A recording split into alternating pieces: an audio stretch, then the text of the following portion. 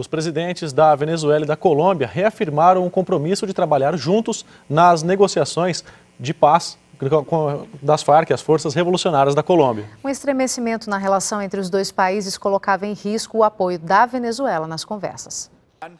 Depois de quase dois meses de impasse político, a retomada da tranquilidade.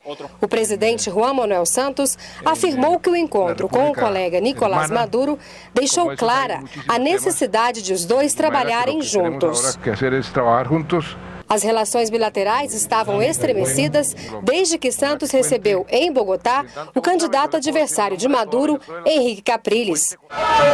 Para Santos, o clima ameno com a Venezuela vem em boa hora. Há um mês, ele enfrenta protestos de camponeses e mineradores. E neste fim de semana, as Farc, Forças Armadas Revolucionárias da Colômbia, mataram pelo menos 15 soldados na região de Arauca, na planície oriental colombiana. Há menos de um ano para as eleições presidenciais, Juan Manuel Santos espera fechar, o quanto antes, um acordo de paz com as Farc. O presidente, que pode disputar a reeleição, não quer perder o apoio da Venezuela na mesa de negociações entre o governo e a guerrilha em Cuba.